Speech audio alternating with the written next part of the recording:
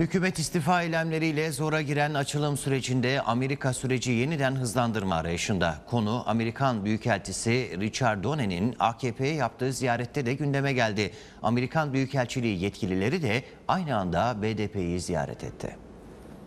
Taksim'den başlayıp tüm yurdu saran hükümet istifa eylemleri hükümetin bölünme mesaisini zora soktu. Anayasa ve açılım sürecinde istediği adımlar atılmayan Amerika müdahale dozunu artırdı.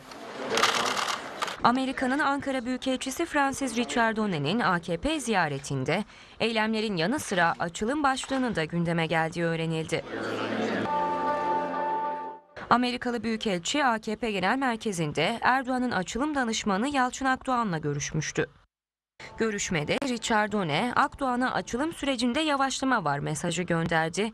Meclisin kapanmasına az bir süre kaldığına dikkat çekti. Amerikalı yetkililerin tek adresi AKP değildi.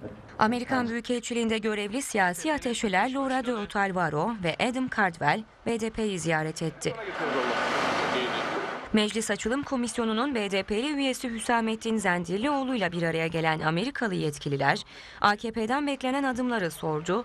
PKK'nın son süreçteki tavrını öğrenmek istedi. Brezilya'da